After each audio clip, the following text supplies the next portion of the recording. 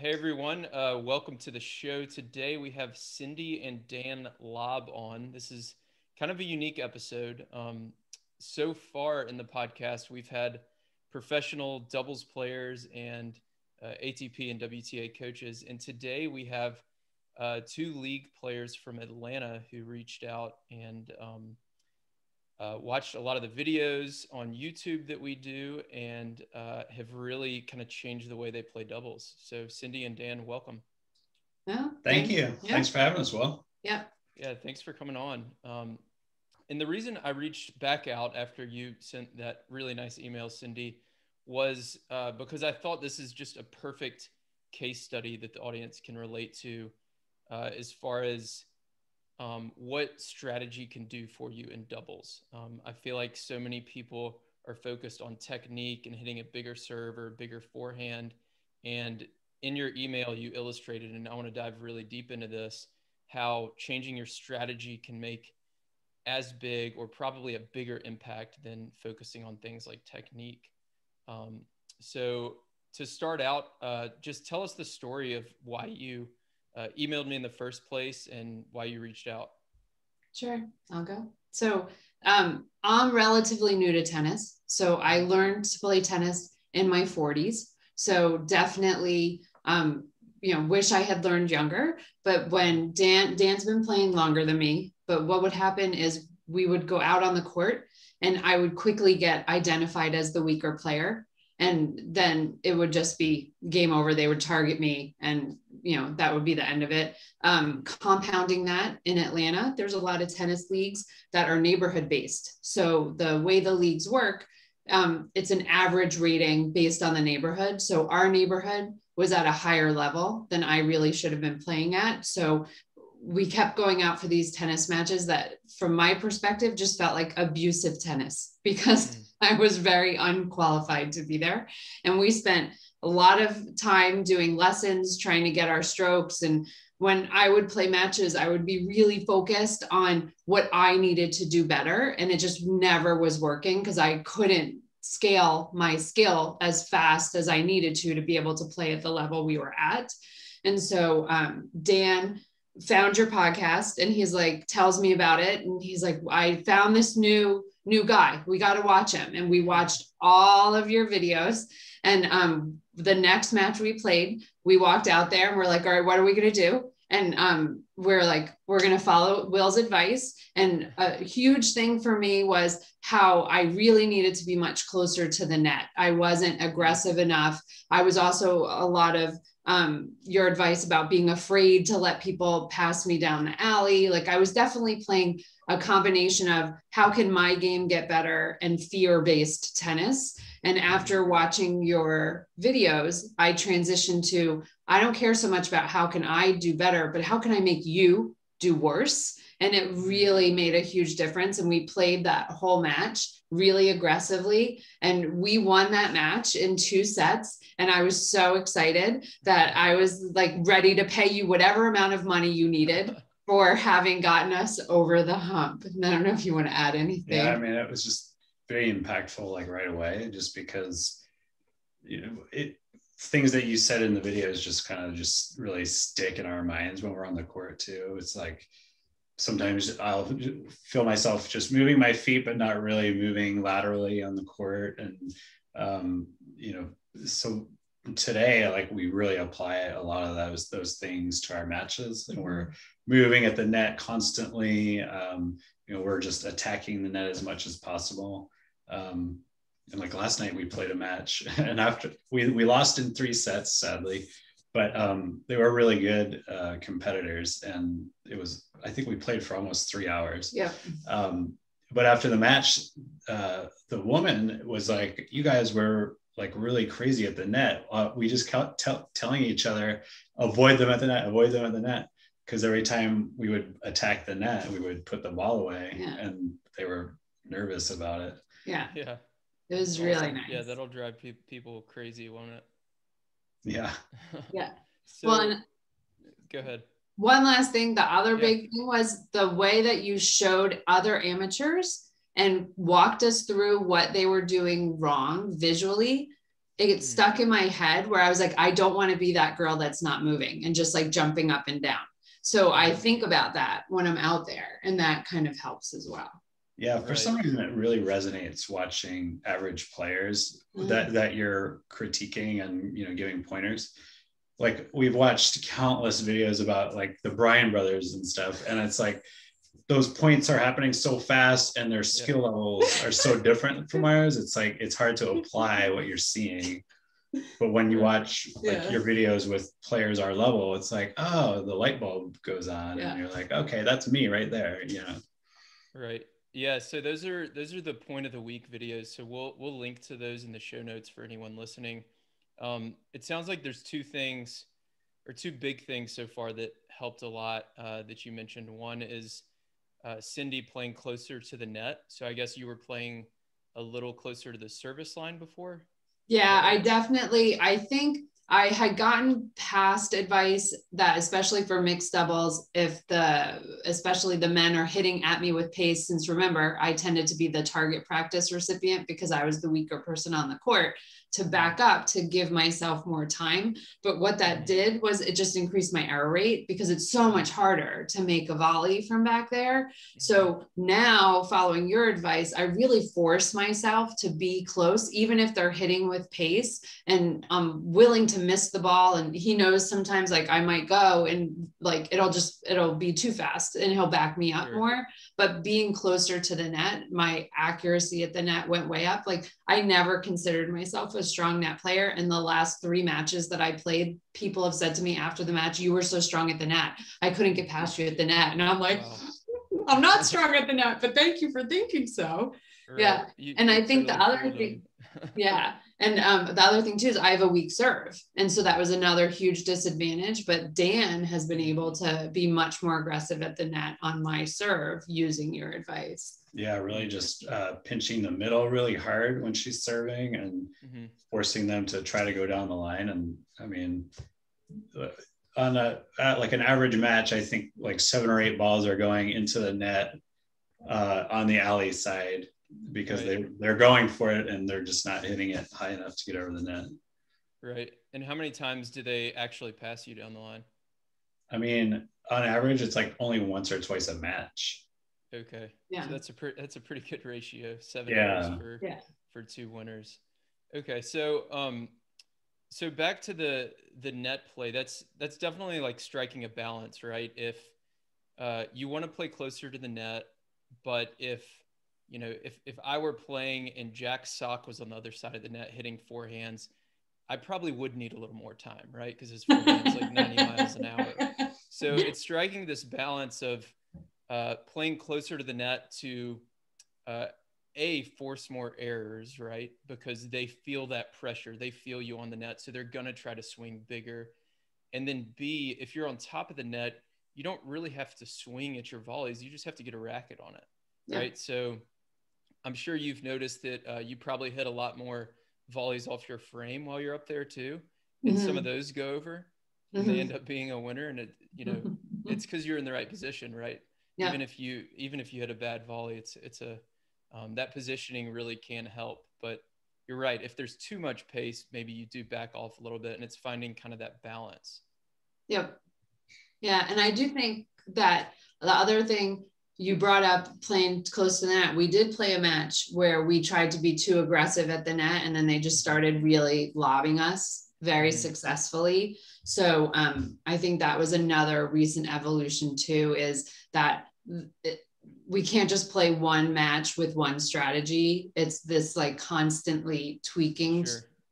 tweaking our strategy, which I think we do better about since watching your videos as well.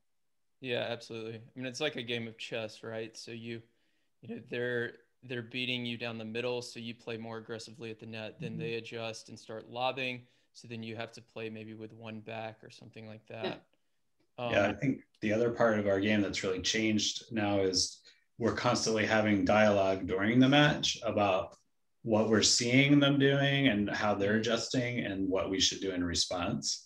And like sometimes, like for me, that's the biggest challenge. Like uh, really trying to observe what their weaknesses are or what's working well for them, and then how we should be reacting to it. Um, because sometimes I get in my head about just trying to do my own thing well and forget to to be observant about what's you know where their strengths and weaknesses are. Right, right, absolutely. So uh, you mentioned Cyndy, you you have uh, serving's not your strength, and you, I would imagine you had trouble holding serve a lot of the time. Talk about some adjustments y'all made on that. Um, you said Dan, you move a little bit more at the net. Um, yeah. Talk a little bit about that. Anything else that y'all have uh, made adjustments on? I think I'm getting so much more comfortable at the net. I serve in volley now, where I never served in volley before. Um, so that has helped with um, opponents that have really good angled shots. Like I can get those much easier now because I'm already moving up and up there. Um, we were doing a lot of like planned. He was gonna cross and poach, and I would cross on the other side to pick up the alley. We were doing that a lot last night. Um, I think those are the two big things I think that we've been doing, and just him really, he's just super aggressive up and I, there. And I just I move a lot while she's serving. Um, mm-hmm. uh, when I'm at the net, just trying to distract and yeah. try to tease them to, uh, you know, tempt them to go down the line as much as I can. Mm-hmm. So I'll do a lot of faking. Um, like she said last night, I was doing full poaches and she was ready to go and cover that alley. Nice. And you feel like you're holding a lot more often? Oh yeah. Oh yeah. Yeah, for sure. It's made yeah. a huge difference. Awesome. So so what uh you talked about how the the neighborhood or, or the mm-hmm. matches are na- based on the skill level of the neighborhood. Yeah. Um what what skill level do y'all have USTA ratings or what do, do so we play at, yeah, we play Atlanta leagues. So the closest we would be like a 3-0 USTA. Okay. Yeah. So 3-0. Dan could probably play 3-5, but um, I pull him down a little bit. but, but, yeah, I mean it's so then um, you know the so the the neighborhood league, the the best players, it's kind of like you, I guess USTA. Yeah, it works that way where the best players are at the first line. Yeah, and then the weakest are the the end of the line. Yeah, and so the big league in Atlanta is ALTA, which is the Atlanta Lawn and Tennis Association, and so they are the the, divisions are a, B, C, and then within A, B, and C, there's level one through eight. So A1 is the highest, C8 is the lowest and um, we're on a high B level team, like uh, B3.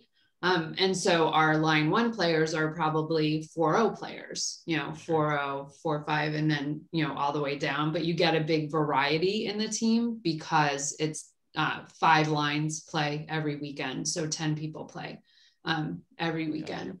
So, um, yeah, so it does introduce you to definitely a lot of diversity. You don't know what to expect when you walk out for an ALTA match. Um, so sometimes, you know, line five, the lowest line can, you know, it can, you can still run into if the neighborhood has a really deep bench of 4 players, you're yeah. playing a much higher level tennis. Sure. And you said before, um, I copied this quote from uh, your email. You said before you were playing a bunch of these matches and you described them as brutal and you felt defeated. Oh yeah. Um, I felt now abused. you're beating those same teams. Is that right? Yes. Yes. You are? Yes. Okay. Yeah. Like I yeah, I got to the point that I was just like, forget it. We need to find a different Alta team where I feel like at least I'm not going to get abused when I go out mm-hmm. to play tennis. And um, we feel 100%. I feel 100% competitive now. I don't know yeah, I mean, it feels much better when we take the court. Like we actually have a plan now yeah. in our heads of yeah. what how we're going to approach it, and then and then change based on what we're seeing. Um, and it could just gives us a lot more confidence yeah. going in. And then after the fact, whether we win or lose, like we felt so far, we've felt very competitive. Yes. And and then we yes. usually have some things that we're talking about after the fact that we're like, oh, we can tweak this, or we should watch, uh, you know listen to another podcast from Will or watch another video from Will and see if he covered that. Like we lost, mm. I, I was, I think it was a men's match. I lost a 10 point tiebreak. And uh, I, I, that was like the same day you dropped that, the 10 point tiebreak uh, uh, podcast. Sure. you yeah, wish yeah. it had dropped a little earlier. Well, I've lost a few tiebreakers myself recently, so I I kind of created that for myself as much as anybody else. Yeah. But yeah, I mean, it was uh, my partner and I both double faulted in the in the tiebreak, and I know you covered that, and it was like we just got stiff, like just yeah. with uh, you know concentrating so much and feeling the pressure. Yeah, sure. Yeah, that happens to everybody. So, um, so we've talked about net play, serve strategy. Uh, any adjustments on returns that y'all have made? I so I I'm doing two things um, a lot more now. So um, one is if I'm if I'm going down the line, I'm I'm aiming for the net player's backhand. Um, mm. You know, instead of targeting the alley itself, I'm giving myself a little bit more margin, and I'm going towards their backhand. And I've noticed a lot of errors uh, resulting out of that on their part. Like okay, so that ball, the deuce court. Yeah. Okay. So that uh, that seems to help. Um, and the other thing is I'm going um, just cross court at the you know at the tape, um, the center strap, mm-hmm. and uh, the majority of the time, I'm just trying to give us a little bit more margin. So taking a little bit fewer risks. Yeah, yeah, absolutely. Yeah, so I, um, I, I think a really good kind of primary pattern is going at that center net strap. You know, um, even if somebody poaches, uh, if you hit a good return a lot of the time, it, it's still going to be a pretty difficult volley, and it, it's always best to make them go ahead and beat you a few times before you make that adjustment, right? And then um, the secondary pattern that you mentioned is, is going down the line. In the deuce court, you're right. It's it's great to go with the backhand volley rather than going for the all-out winner, because going for that all-out winner, you'll make maybe three out of ten or so. But if you can play with a little higher margin, you go with the backhand volley, force a lot of errors, um, or if they do make it, or are you finding that they'll just kind of pop the ball up and you can finish it on the next ball or anything like that? Yeah, yeah, I've noticed that.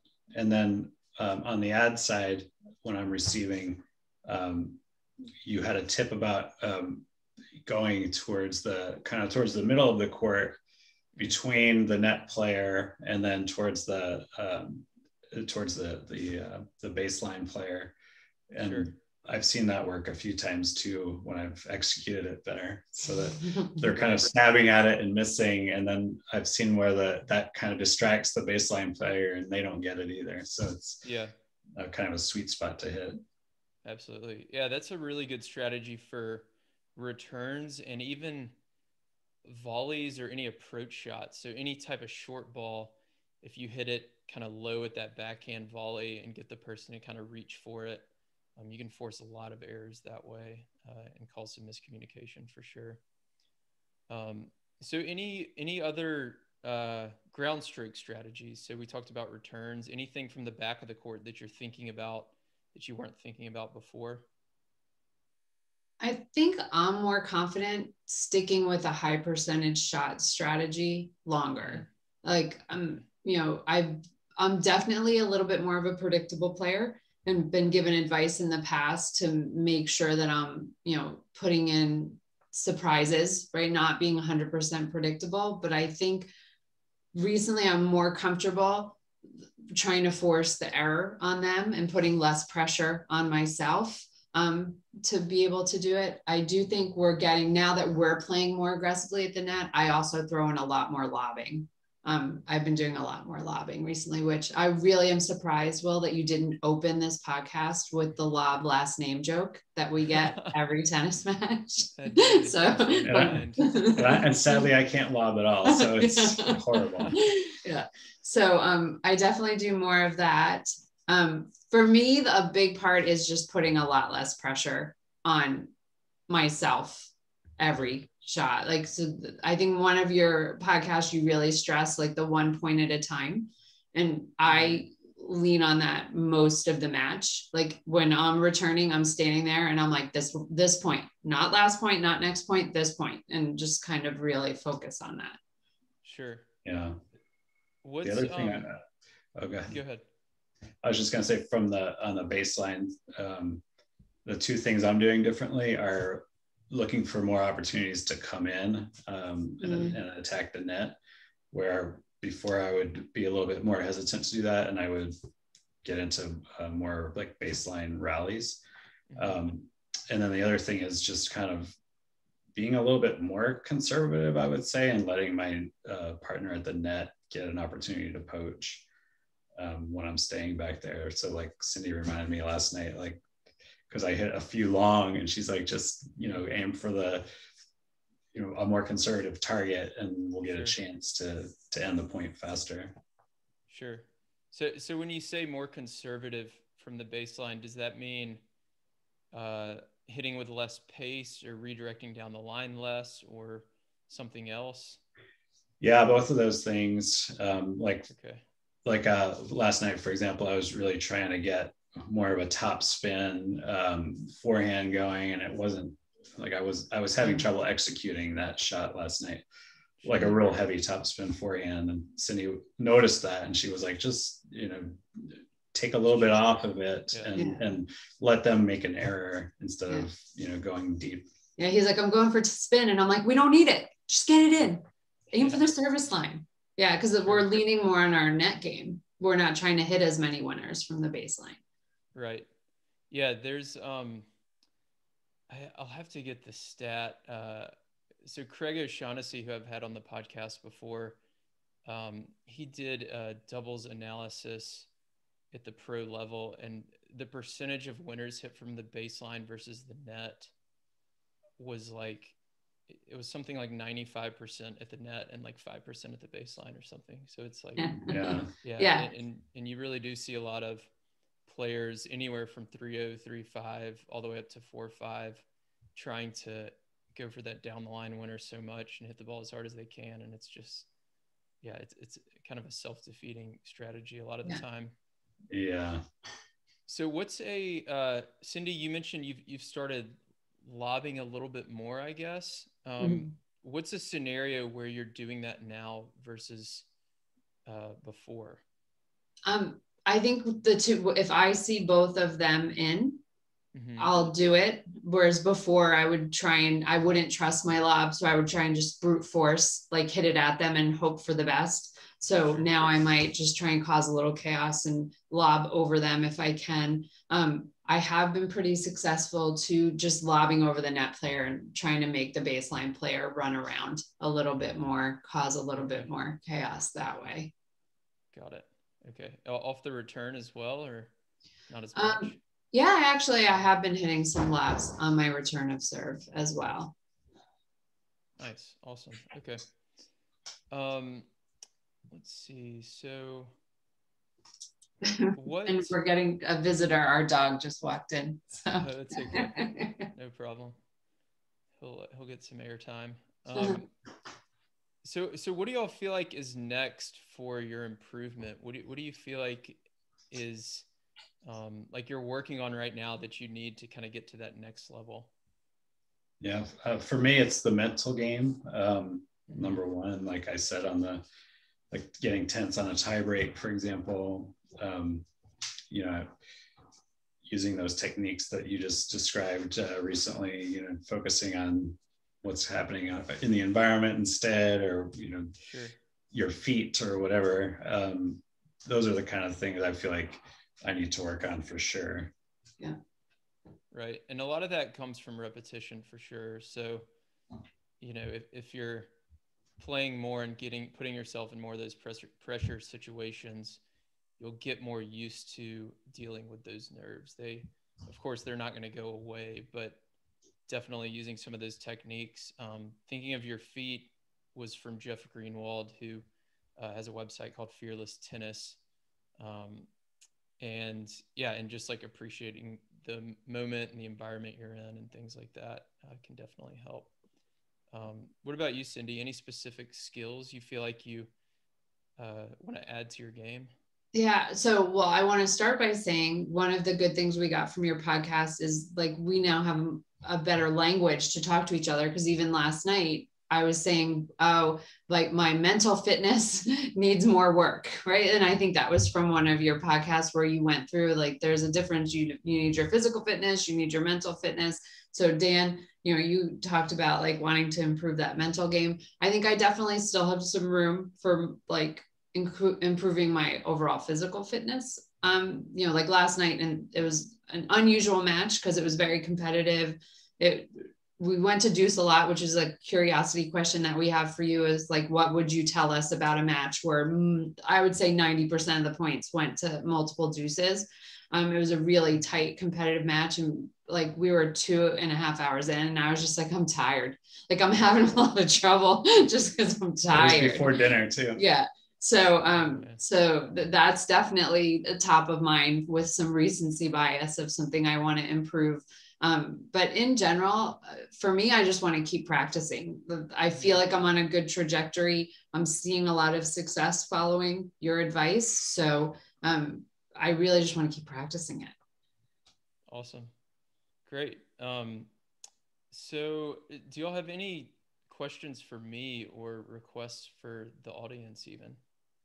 Yeah. So the first question is, what do you do in a match when you go to deuce 90% of the time? What is that? So what are we like? We talked about trying to end the points earlier and we would try, but we, it just wasn't working. So what else should we have been talking about?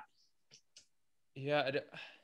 I've never really thought about like a strategy for not going to deuce. I, I don't think that, uh, that there's anything necessarily to do differently because it, it's it just means that y'all are like really evenly matched, right? Um, yeah, a few times we went to deuce like eight times or nine times. Yeah. Uh, you know, on the one point, and we're like, oh my gosh, this is crazy. Yeah.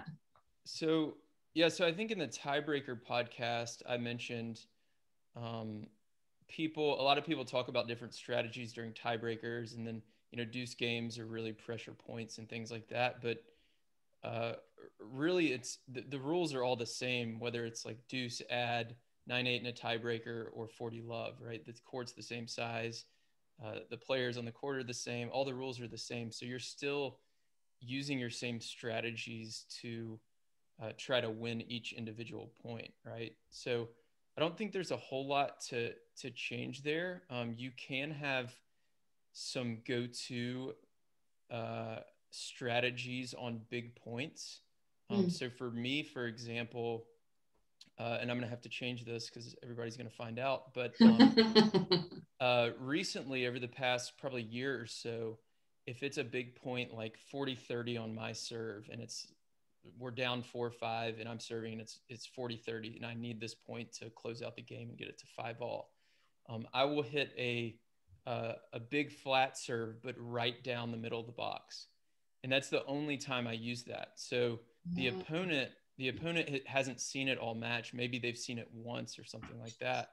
Because I've been going for the wide serve, the T serve, um, or like a slice into the body, which, um, depending on your skill level, you can you know vary different things, right? Uh, but if they've only seen it maybe once in the whole match, and then I hit a flat serve right in the middle of the box, and I choose that because it's just a higher percentage than trying to hit a flat serve wide or down the tee. Um, it really surprises them, and I force a lot of return errors that way. So if you can think of maybe kind of a go-to play like that that you only use a handful of times, um, something like that could work. Uh, I guess the issue with that potentially is that you know if it's such a good play for you, you should probably want to use it more often, right? So that's true. It's, it's kind of this balance. Uh, um, and I wish I had a better answer for you, but yeah, I mean, it sounds like it was just a really competitive match. It was a good match. It was like even losing, it, it felt good after. I was proud of the way we played because it, it, was, a, yeah, it was, it was a, a competitive battle. It felt good. Yeah. That's awesome. Yeah. Yeah. That's something, um, that's something that I would love people to take away is like, you know, especially people like us who like none of us get paid to play tennis. Um, we're all out there just like having fun and we can control what we do as far as like our strategy and do the best we can with our mental game but if we're having a bad day with like our forehand or backhand or volleys or something like that like just kind of take it easy on yourself because yeah. we're we don't play enough for it to really matter. Um, so I, I, think that's good that you're like thinking about the strategy a lot more, and then thinking about um, even if we lose. Oh, there's the puppy. Um, e- even if we do lose, you know, we we did everything we could, uh, and we enjoyed it out there. Yeah, it feels good, and and like trying to apply things that we're learning, and and kind of ticking the boxes on, you know, have we tried this have we tried that it, it, feels good that now we have some things that we can we know we can go to uh, throughout a match yeah yeah absolutely um cool any any other questions before we hop off i mean we talk about you the whole time the whole match we're like what would will tell us to do y'all should get a camera and film one of the matches we can we can do like an analysis or something yeah, like that. Yeah, that would be great. We yeah. talked about that, but I don't know if I'm ready. but yeah, no, we, we will maybe, do it. Maybe down the road. No, we'll commit to doing it because then that'll be even more. But I do think that actually on the last parting thought, my game has changed enough. I used to be really intimidated by spectators and I like it, it made me nervous. I felt like people were watching how bad I was. And I don't feel that way anymore. I played a women's match on Sunday and I looked up at one point and Dan and our son were watching and and mm. I was like yeah hey you know like I waved and I'm like look at me I'm doing really good. And like I, you know they saw some really good points and it was a really good match and I just think the overall confidence that I have on the court now is so different than where I was because I was putting so much pressure on myself that I had to be better and as soon as I realized it like I just needed to make them be worse, which sounds a little awful when you say it out loud, but it works really well. Yeah, it works better. yeah. Yeah. So yeah, so most of tennis, whether it's singles or doubles, most points end in an error. So when you realize that, you really want to focus on forcing errors a lot more. Um, yeah. That was something else I've, I've learned from uh, Craig O'Shaughnessy, um, who I'll, I'll link to that episode in the show notes as well. Um, so one last uh, question for y'all, or, or, one last thing I want to talk about. Um, do y'all practice a lot, or do y'all just mostly play in these league matches? Um, historically, we we practice at least weekly, once mm-hmm. a week. So, okay. like we have a ball machine, we'll use that. Um, we have our boys play and some friends, uh, so we'll get down and we'll probably you know a couple hours a week practice. Um, and we'll do kind of some drill type practice and some just work on our our mm-hmm. mechanics. Yeah, sure. But it's about once a week, and I just came off of I had a, a, a surgery, so I've been out for six weeks, and I walked out of that six week hiatus into a match and was mm-hmm. fine using this strategy. And I think it was because we were focused more on strategy than, my, and my form was off, my timing was off. I was definitely yeah. missing uh, baseline shots that I normally would make, but the using the strategy, it covered us enough that even with a six week hiatus, we were fine. Sure. Yeah. So, so there's, I guess two two ways to improve um, in tennis or in doubles. One is is the strategy, which y'all are clearly working on. Um, and then the other that I talked about is, is technique, which I don't really teach a lot of. Um, but one thing, the reason I asked if you practice is one thing you can focus on. Because when I bo- when I asked both of you, what do you need to work on next? Both of you talked a lot about kind of the mental side of the game, and um, that really does come with a lot of just repetition. Um, there's definitely some techniques that we've talked about uh, but the other thing is in practice matches, kind of expanding your comfort zone. And I've got a, a blog post on that. I think it's called the Nadal practice strategy. Um, so when I was watching the US Open a few years ago, I'm going to go ahead and summarize the blog post. Uh, Darren Cahill was calling the match on Nadal, and he said, if you ever watch Nadal practice, he misses like almost every ball because he's trying to go for shots that expand his ability and that mm. that expand his comfort zone. So when I heard that, I was like, oh, that makes so much sense. So when you're in a practice match, and, and this goes for anybody listening, try strategies that maybe make you a little uncomfortable. Um, obviously, if they're not winning strategies, don't don't do that. But uh, strategies that make you a little uncomfortable, maybe try serves that make you a little uncomfortable. If you hit on the ball machine, you know, hit hit shots that kind of expand your your ability. Um, Dan, you mentioned that you, you're not very good at lobbing, so maybe go out there on the ball machine and start working on that. Even if it's a little uncomfortable, it's just another tool you can add to your game to keep improving. Yeah, I need to do that. it gets really embarrassing when our last name's Lobb and our lobs go out. So we try and focus That's on funny. that. I, that joke didn't even cross my mind. I think you know one of the things is that we we historically we put in so many hours on technique um, mm-hmm. on the court and and yeah. practicing. So for us, this is like all new, just thinking like strategically mm-hmm. and um, thinking about movement and the mental yeah. game. It's all kind of new to us, but it's been so impactful. We're like really excited yeah. about it right now. and I'm sure all those years of lessons and working on the technique is like foundational and helping us, right? Because we can make most shots at this point. So we're not really struggling to keep the ball in the court. Um, so I'm, I'm grateful we spent the time, but I'm really happy that we finally have figured out how to use all those hours towards success in a match. Sure. Yeah, technique enables good strategy.